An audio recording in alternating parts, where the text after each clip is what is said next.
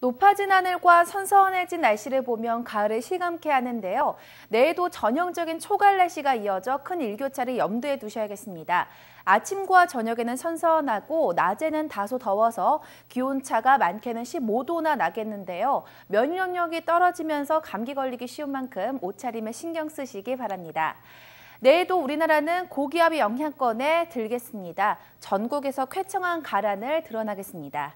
다만 지형적인 영향으로 동해안에 오후부터 가끔 비가 내리는 곳 있겠고요.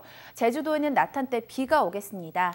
내일 아침 출근길도 볼에 와닿는 공기가 선선하겠습니다. 서울 17도를 비롯해 청주와 대전도 17도, 대구 20도로 대부분 지방에서 20도를 밑돌겠습니다. 한낮 기온은 오늘만큼 오르겠는데요. 서울 28도, 청주 28도, 대구 29도가 예상됩니다. 내일 남해와 동해상을 중심으로 짙은 안개가 끼고 물결도 높게 일겠습니다. 특히 동해안에는 널설 파도가 방파제를 넘을 가능성이 있으니까요. 각별히 주의하시기 바랍니다. 이번 주 내내 전형적인 초갈 날씨가 이어지겠는데요. 하지만 주 후반 전국에 비가 내릴 것으로 전망됩니다. 날씨 정보였습니다.